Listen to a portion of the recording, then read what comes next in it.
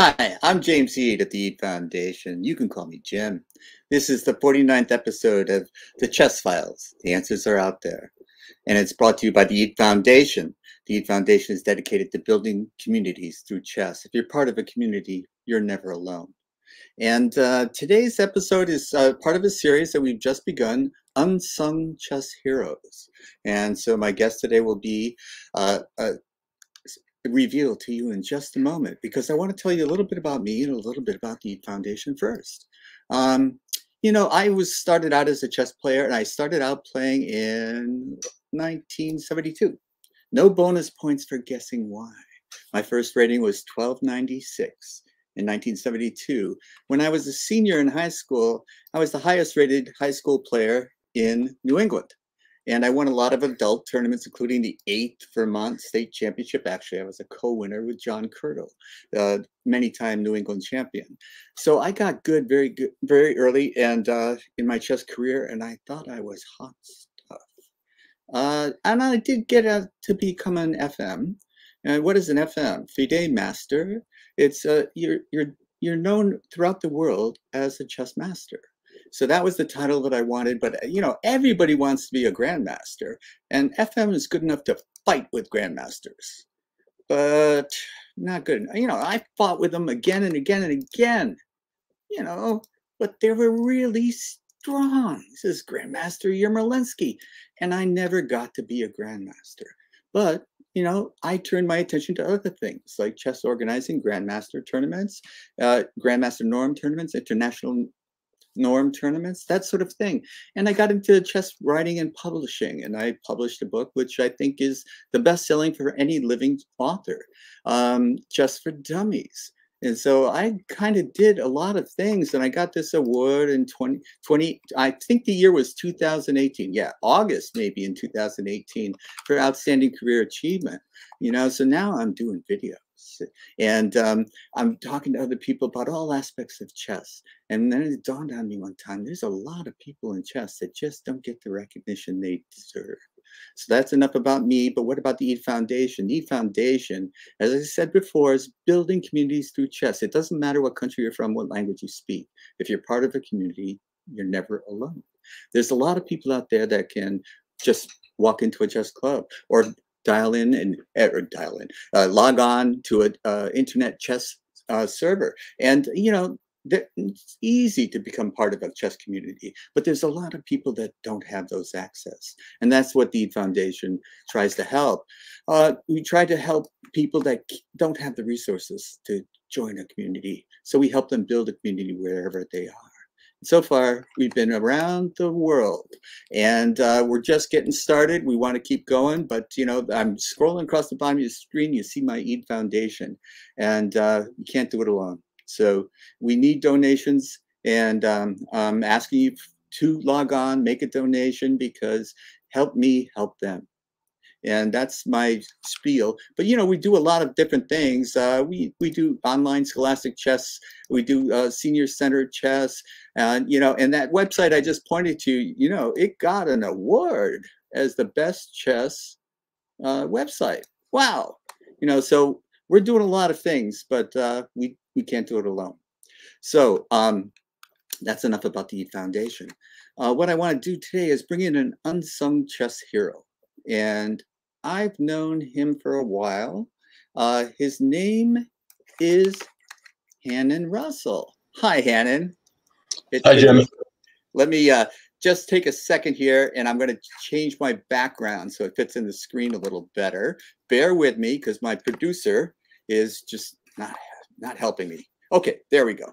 Um, Hanon, thanks again. Uh, I wanted to tell you about, I think the first thing I, I your name came up with was in translations. We're going to get into your entire chess career as much as we can in, in the short amount of time we have.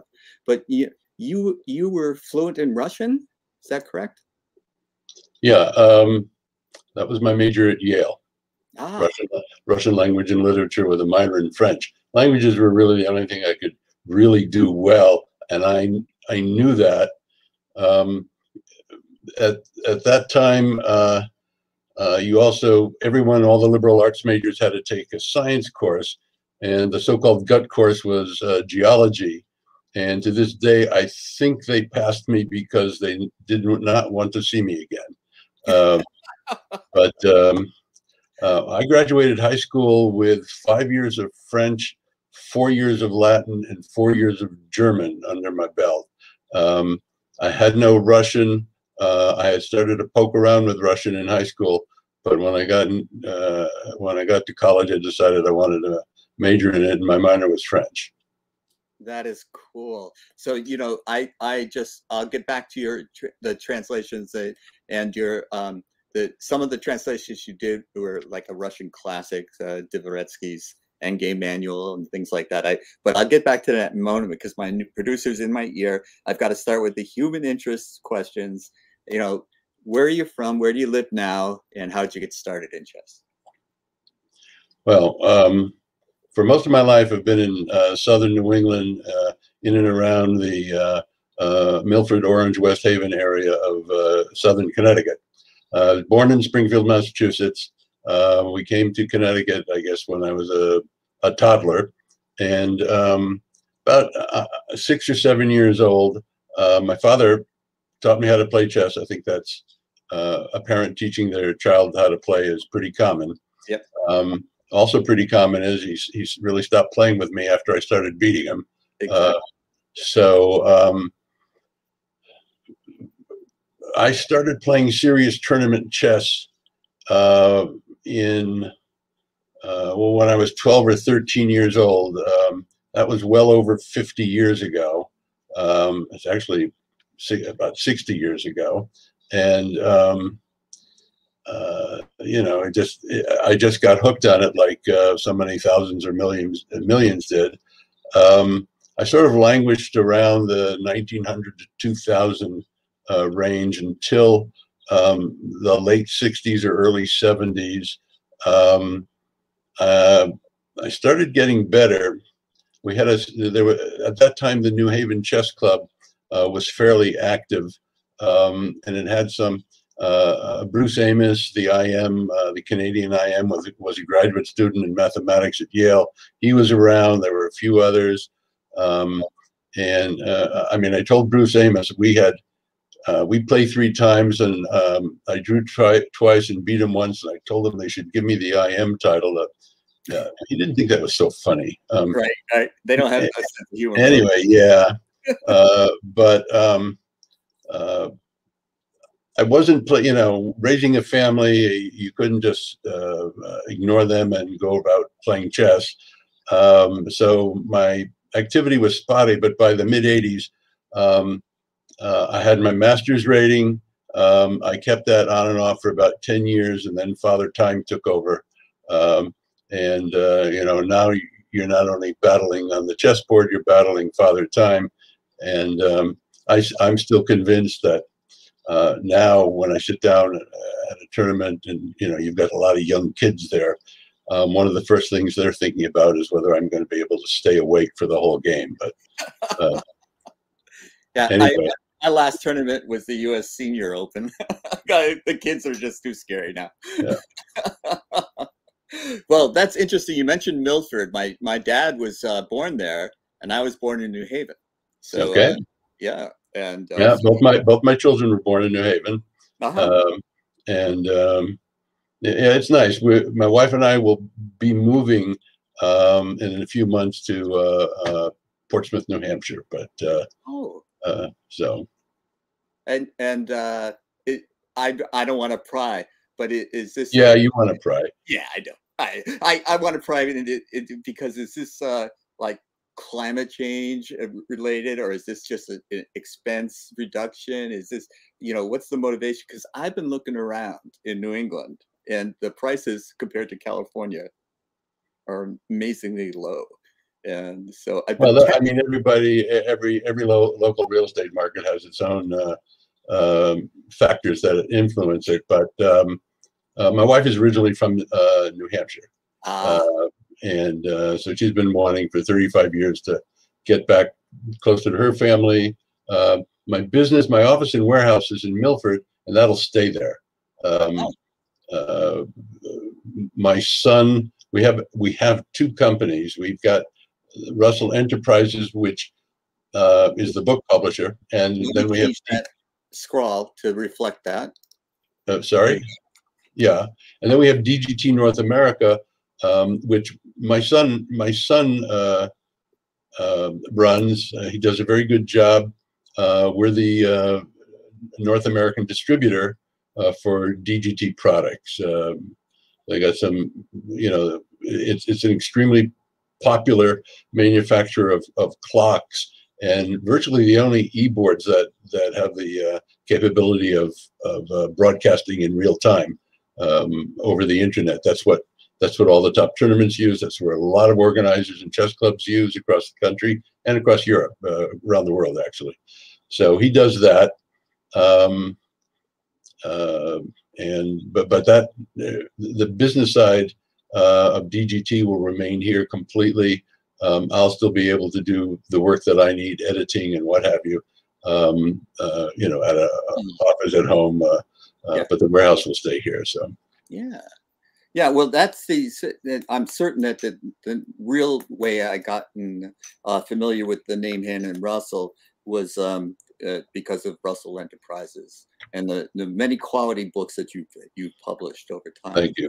So you're, um, uh, uh, you know, to me, you've always represented it quality uh, in chess and this DGT electronic broadcasting. You know, that's that's the way of the future of the present.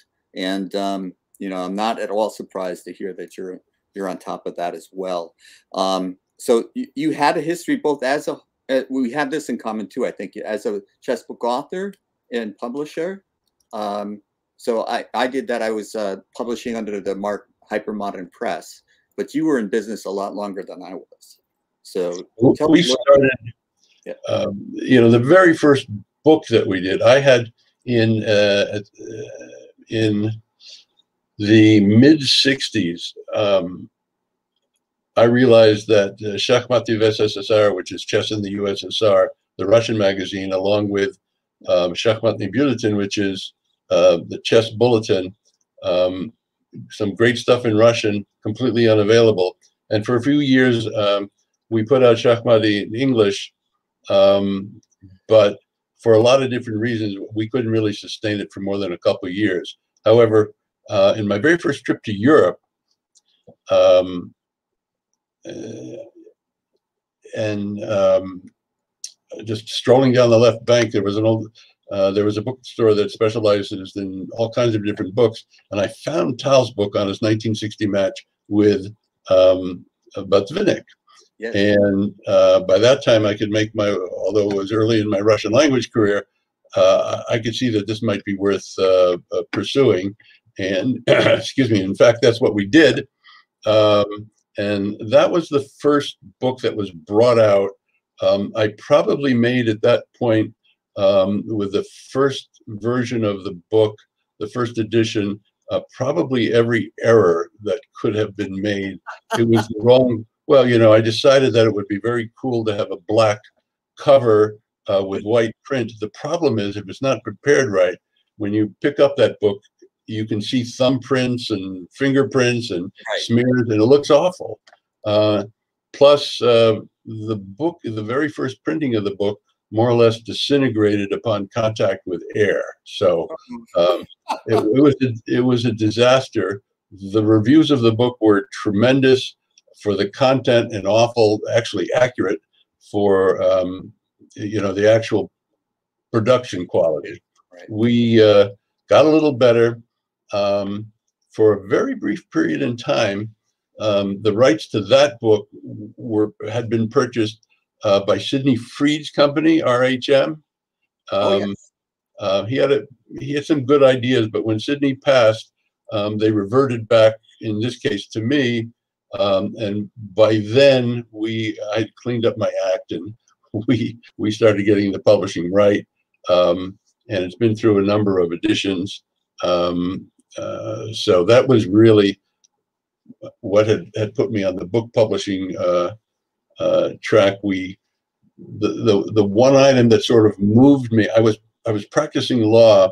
Um, I graduated um, graduated Yale in '69, and then took seven years off. I was I did various um, uh, things associated with real estate, and um, I entered law school in 1976. Graduated in '79, um, and um, practiced law full time uh, with an emphasis on um, um, commercial real estate, landlord tenant, uh, commercial landlord tenant, and the business law that uh, came along with all that.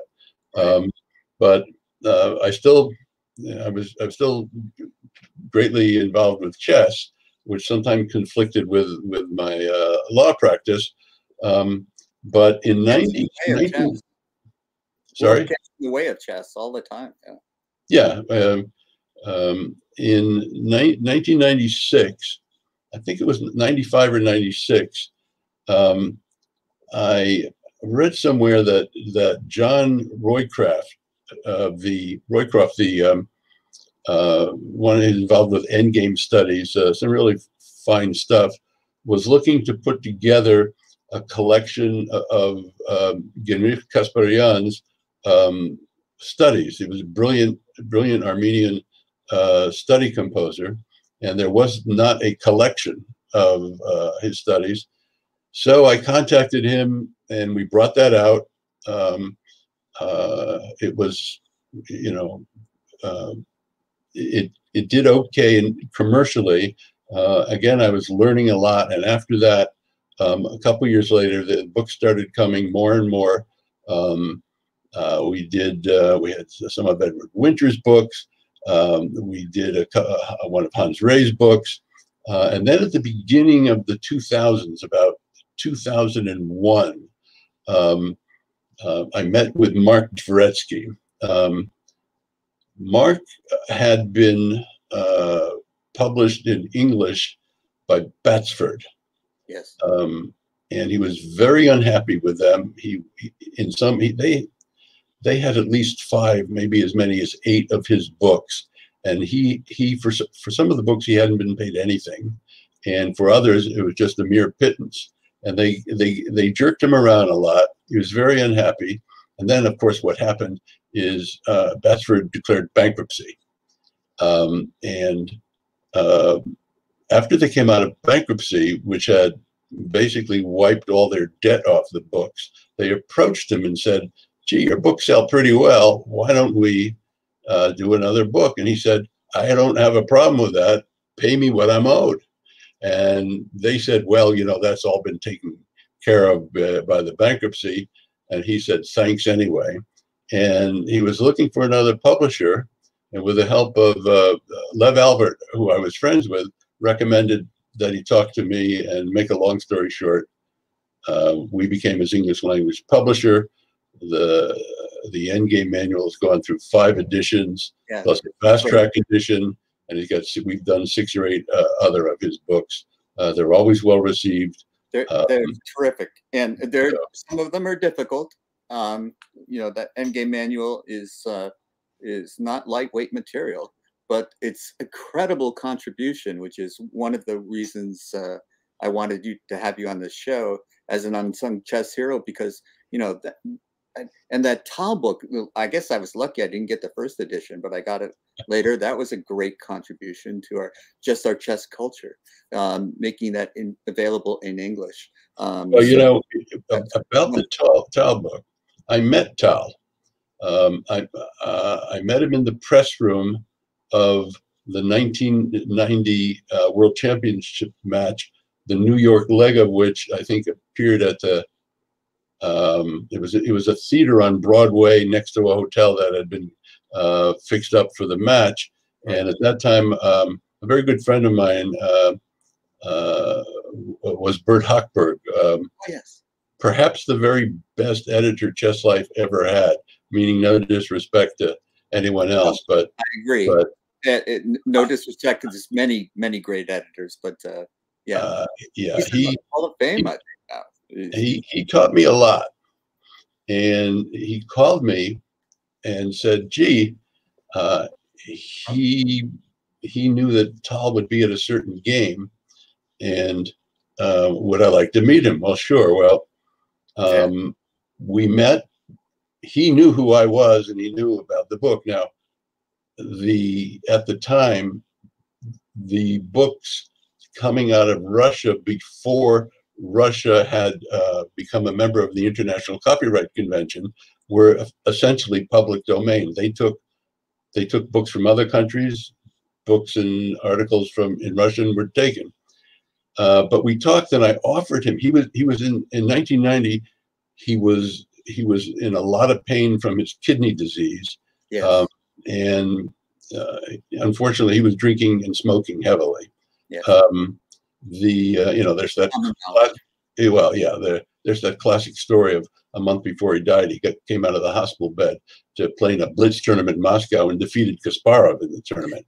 But um, uh, back to 1990 we talked and I said to him look it, it doesn't uh, we both know what the laws are or what they were. Um, if you'll write a, an introduction or a forward to the next edition of this I said, I'll, I'll pay you very well. Um, we agreed on that. We agreed on the price.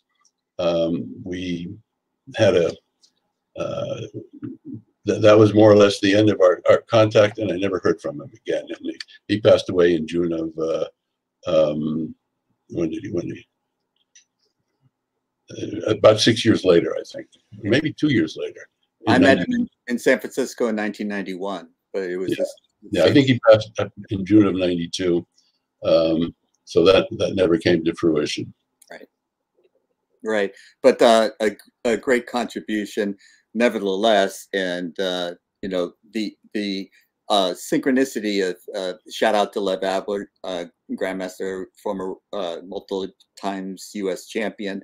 Um, but you knew him and you were friendly with him, and so that connection got you in. And what you had done to to become uh, uh, a Russian language, your ability to translate into from Russian to English, um, all of that played a part into being able to add to our chess culture. Yeah, that was one of the, that was one of the things that my discussions with Mark would be sort of half in English and half in Russian. His English wasn't great, but he could get get by. Um, and uh, but at that time, the the undertaking for the very first edition of his Endgame manual was enormous. And um, in fact, we brought in two translators, um, Jim Marfia, uh, the oh, yes. uh, American translator, and Valery Beim, who was Russian and then was living in Germany. Uh, he has since passed away, but they both did approximately half. And occasionally they would argue about what the best thing was. And Mark would say, well, you know, I would I would referee it. Hanon should make the decision. That's what he said. So that that went uh, that went okay. Um, you know, he was still at that time coming over to this country um, fairly regularly. He, he he continued that uh, where he would have his teaching seminars um, until he got sick. Um, I believe he had stomach cancer, and uh, at that point he had to cut everything off and um, he he stayed he, he stayed in and around Moscow uh, with his doctors uh, so that they were easily accessible accessible. And then he finally passed in September of 2016. Um, so I I think uh, I wanted to to mention this at some point. Um, one of the things I was um, familiar with Russell Enterprises is it was you produced a chess calendar with all these dates uh, people when they were born. And I thought that that was a great contribution too, because you know there's lots of lots of little factoids that we didn't know. And and you mentioned Edward Edgar, Edward Winter. Um, he, he was uh, one of those people who would correct stories that were misinformation that was out there. And so I appreciated your calendar, which was just facts. You know, yeah. that was a, that was a contribution as well. So uh, you know, you, I I call you an unsung chess hero, but you're very familiar within the closed chess circles. Everybody really does know you, does know about you.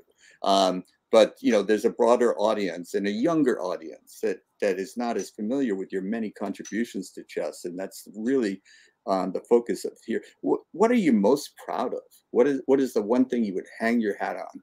Speaking of hats, um, that you think you you really really did a first rate bang up job that maybe you were put put in this place to for to do uh, and that maybe no one else could? Well, I, you know, I don't know that it needs that kind of kind of dramatic introduction. Um, I mean, these are you know, when, all is said and done, these are chess books, and um, yes, uh, while you and I and others out there may think that that's the end all of stuff, there are a lot more things out there that, that are more important. Um, I think in general, um, uh, we, we, we treat our authors very well. Um, I've had a, a, great amount of referrals from uh, authors who, who have come over to me from other publishers. Um, we've published some books, and then they refer some of their, uh, uh you know, their colleagues uh, to us. I could give you a number of examples. Um, uh, you know, where we have right now, Max Dlugy is, is working on a book on the Queen's Gambit Accepted. Um, and um, he had been with another publisher.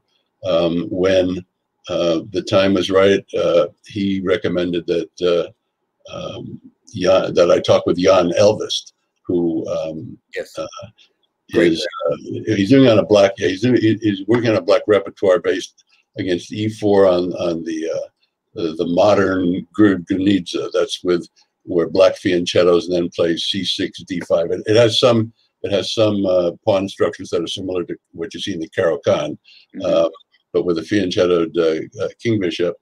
Um, so we're working on that too. But he was he was a, a referral from Max. Um, right.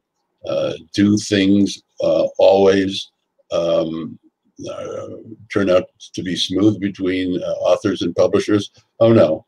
uh, I had one author who was doing a biography on a minor um, a minor chess personality, and I agreed to publish it. And every so often, I contact the authors like I do and say, "How is it coming? Any idea when you'll be done, et cetera, et cetera." And he originally thought the book would be about two or three hundred pages. He, he then said, "Well, it looks like it's going to be four hundred. Is that a problem?" I said, "No, we can probably handle that." He then said it was six hundred. I said, well, let me think about that. And by the time I got back to him, he said it was clearly going to be over a thousand pages. Oh my goodness. Said, well, I said, you know, uh, first of all, um, this is a, we're talking about a minor chess personality, someone who had not a whole lot of influence or effect on the chess world. Um, and uh, number two, um, I don't know how we sell something like that. Um, uh, you know, unlike the the old Soviet Union or maybe currently in Russia, um, we we're not funded by the state. Right. And if we publish something, we have to try not to lose money. And um, fortunately, that has worked out for a lot of books. But even even then, there are some lemons. About 1,100 pages. So I said we can break it into some volumes. And at that point, he went off the deep end and said, "Oh no, this has to come out in one book." And I said, How about if we part ways? That sounds like. And he thought that was just fine. And that's the, the end of the story. It, it was published um, in one volume by someone, 1,100 pages. And God bless him. That's right. So, yeah. Uh, but, you know, there's a there's a lot of things we had.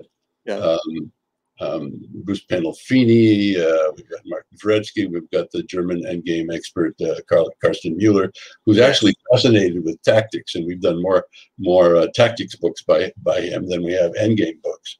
Yeah. Um, but um, we've got a we've got a, nice group of, of, of uh, authors, GMs, IMs, and um, you know we, we, we try to do uh, the best we can to to bring them out. Sometimes you, you have a clunker, and um, um, I tend to uh, I tend to view a book as both having commercial viability, but also a book that deserves to be out. For example, um, about three or four years ago, I was contacted by um, uh, a Greek uh, master, Achilleus Zagraphos, and he had a man. His English was excellent, and he had a manuscript uh, connecting some of the theory of music with chess. And it was a fascinating book. Uh, wasn't that long. Um, it uh, we did bring it out. We had a lot of color plates in it, and um, it really. I think if he didn't have a large extended family, we wouldn't have sold any. But, yeah, it, and it's bad. It, it, it's a great, it's a terrific book. It's uh, but it just doesn't it didn't sell well. Didn't sell well. Um, that's the nature of the beast. As, you know, such as life. There are a couple books uh, like that we've we've brought out, and uh, you know, you fortunately you have some some very good sellers that help support the other ones, and um, if you can, you know, make a make a dollar here and there, that doesn't hurt either. So. Right, right, but you're not retiring and eating bonbons by the pool based on that. You know, this this enterprise. Who, who told you what I do by the pool? oh, and yeah. see, we know people that know each other.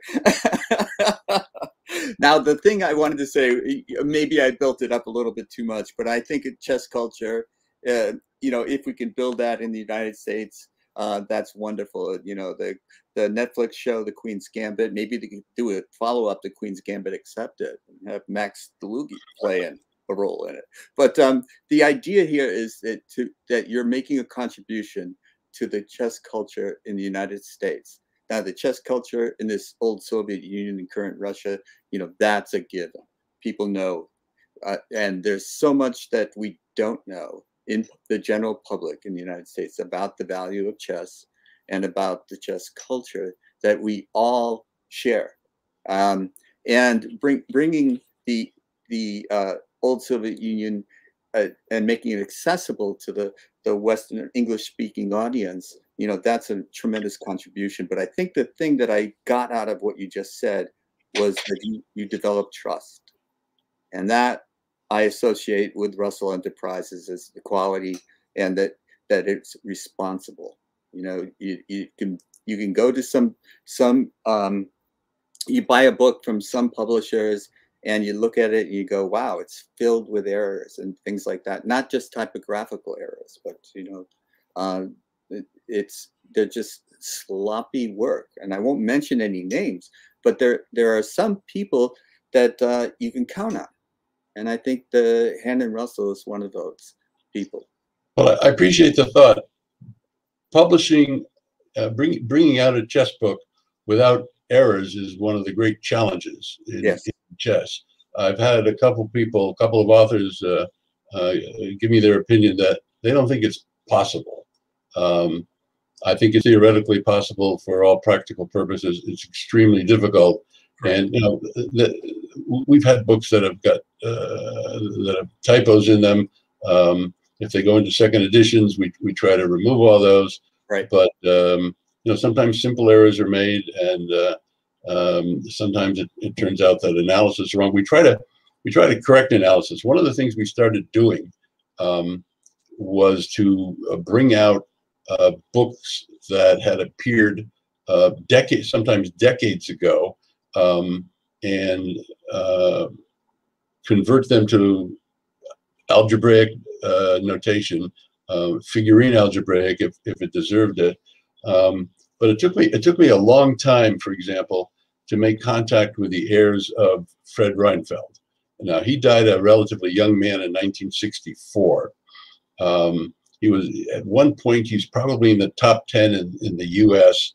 Um, he was a strong master that it's hard to tell because the rating system didn't wasn't developed in, until towards the end of his life. Um, but there are some some very interesting books. One of the things, and sometimes it's a, it's a big surprise. I I don't know if you ever remember seeing his complete chess course. It was originally brought out in the mid '50s uh, by Simon and Schuster.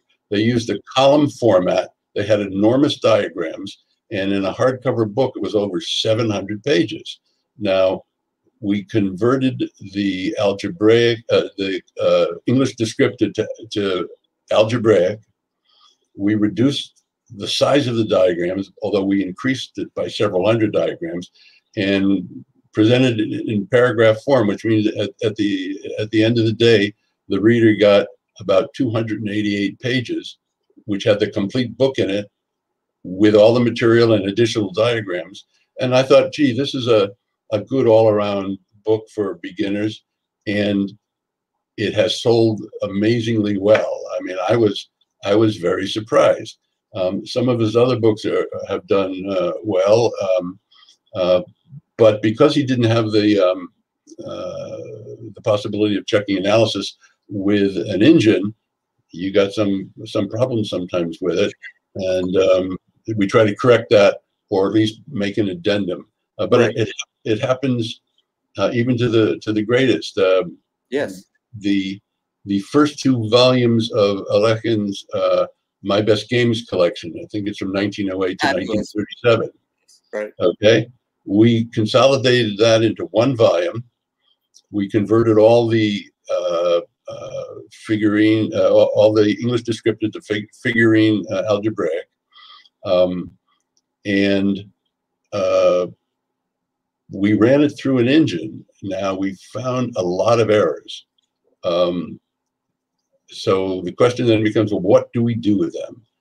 What I decided to do is to leave the book intact, just the way he he uh, uh, wrote it, with his analysis unchanged. But when we come to a place where his analysis may be wrong, um, uh, we, we we gradually put together a document that collected all that all those uh, uh all, alternate analyses, I'll call them, um, and in the book, if you look at the beginning of the book, it gives a URL where that document can be found. If you're interested in comparing it with what Alekhine originally wrote, you got it. If you don't care, then we don't. We didn't clutter up the book with it. That's the wisdom of Solomon right there, because you know everybody, even though they were great uh, players and and uh, great analysts, and uh, you know that that uh, series of my games it was a big part of my chess development. Um, you know, and I just took the analysis for you know like gospel, uh, and uh, of course it wasn't. You know, the computers now can find errors in anything. So it's it's um, you know, but not cluttering up the original. Is, is I did I did the same thing. I had the same approach with his um, his uh, New York 1924 tournament book. Another classic. Um, yeah, and now that books like that, um, uh, you need to to have a different uh, approach to uh, whether it's going to be commercially viable. For example, New York 1924 is not going to sell 500 copies a month. Uh, it may sell 30 or 40 copies a month, maybe less, maybe more. But you know that's you know that book is a classic. We took that, and if you remember the original uh, edition. Um, from uh, the mid. It was originally published, I think, by Hermann Helms, um, uh, and uh, the way they did it uh, was the way some newspaper columns are still written, where they have the the game moves, and then they'll have uh, references A, B, C, D, and the analysis appearing, uh, the annotations at the end of after the game. Right. And that's the way this tournament book was. So what we did is not only converted it to to figurine algebraic, but we integrated the uh, annotations and commentary within the game itself, like readers, uh, contemporary readers are are used to seeing. Right. Right. Okay, so that that's that's also a great contribution. So you know, I have admired you from afar, and we've met, um, and we have a mutual friend in Al Lawrence. Uh, and I, one of the things I'm going to just say, uh, what I remember um, about you is that you um, there's an executive board of the national governing organization. It's called U.S. Chess now, and back in the days that when, when I served, it was the U.S. Chess Federation. And uh, on the board, prior to the board that I was on, I can remember listening to, to you as the legal consultant on the phone. You dialed in, and if they had a legal question, yeah. they ask you. That was that was from uh, '93 to '96. Yes. Um, I was practicing law full time, but obviously I was involved in chess. Um, that was when Al Lawrence was the executive director. Um, Al is still a very good friend. Uh, yes. Uh, he's a great guy. Um, we uh, Al Lawrence. Yeah, before the pandemic, we would go to tournaments together, and maybe at some point we'll do it again. But um, your teammates on the amateur team east. yeah, oh, yeah, we uh, we've we've done it all, and uh, um, he's he's a great friend, and and, and uh, you know I enjoy his company. Yes, yes. So um, that that was one of the contributions, and and I talked to Al about that. Is is you know how do you get him to do that? You know, pro bono, and he said, oh, he's just a chess lover. yeah, well, you know, I think they Al Al wanted some a chess player to have uh, uh, some some input legally, and uh, you know, it's not unheard of. But Harold Winston for a long time provided. Uh, you know, he was Harold. terrific. Yeah, I still miss Harold. Yes, he recently passed, and um, you know, he he was another you know, unsung. Uh, Harold Harold Harold Harold Dondis was another. Yes. Um, so. Yeah, I served for 20 years on the U.S. Chess Trust, which was started by Harold Dondis, and Harold Winston was the longtime uh, chairman, and uh, and uh, it, it, we worked together quite a bit. Uh, the, and the the two of them were gentlemen as well as legal experts, and and they made sure that everybody got their chance to speak and their their opinions been, been heard before any decision was made. So I admired both of them greatly. Harold Dondis was from uh, Boston. Harold Winston was Chicago. They're around Chicago. Yeah, I think something like that. Yeah. Yeah. And so um, it, it we're running out of time. My producer's in my ear again. But Hanon, is there anything that I have neglected to ask you that you would like to talk about? Uh, no, not in particular. Um, you know, we um, I retired from the practice of law about 15 or 16 years ago, and this is what I do now. We publish chess books and we distribute DGT product in uh, in North America, and uh, you know, uh, it's sort of uh, I've been able. I'm very lucky. I've been able to combine, you know, my passion for a hobby with making a living. Um, so, um, you know, thankful for small things in this life. Yes, and uh, well, you've done it well, and uh, you've you've taken the past and English description, you've modernized it into figurine and algebraic, and you've uh, taken the East, which was uh, and when I was growing up was um, not someplace we could even travel to, and you brought it to the West, and so your contributions should not go un unacknowledged. And thank you for being my guest today. I'm going to take you backstage now um, but I really appreciate your time. Okay, thanks, Jim. Good to be here. Thank you. Okay, so uh, let me just change my background again because I was my producer tells me that this is uh, he he he made these things for me, and if I don't do it right, he complains. So let me try that again. One more time. There you go. Okay, so that was uh, Russell, a great unsung hero of chess. And, uh, you know, you may not have known his name, but if you bought any of his chess books, then you owe him a debt of gratitude. Um, one of the things I want to mention is, is that I'm bringing chess, unsung chess heroes, but I don't know all of them. If you know an unsung chess hero, let me change my scroll across the bottom of the screen. Go and send me a note. You know, tell me somebody's name that I may not know of who's done a lot for chess and may not be a household name. And I'll bring him on. And this, this the, the chess files, the answers are out there, is on every Friday, 1 p.m. Eastern time. So um, I hope you will take me up on this offer. Uh, and all of these, uh, let me just see if I can do this. My producer's not helping. All of the videos that we produce about the chess files can be found on the YouTube channel Eade Foundation. So if you couldn't see this in real time live, you can see it uh, as soon as I put it up there, um, which will take me a few minutes, but I will get it up there. And you can see all the previous shows. This has been episode 49. And so uh, tune in next Friday, 1 p.m. Eastern for episode 15 and uh, 50, 50, excuse me. I'm making a mess of this, but uh, uh, I hope you do. And uh, who's the next unsung chess hero? Come in next week and find out.